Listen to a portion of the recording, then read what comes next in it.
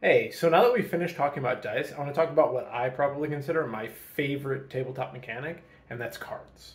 Cards are my favorite because of their endless possibilities. They could be as simple as a standard playing card to as complex as a Magic the Gathering card.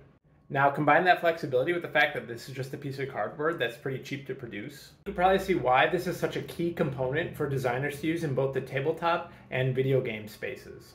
So there are tons of reasons to use cards, and I'll go more into detail in subsequent videos, but I think three stand out above the rest. The first is that they can form a deck, which gives cards memory. The second is they can hold them in a hand, which gives you input randomness and hidden information. Third thing is, cards are very good at displaying multiple pieces of information very quickly.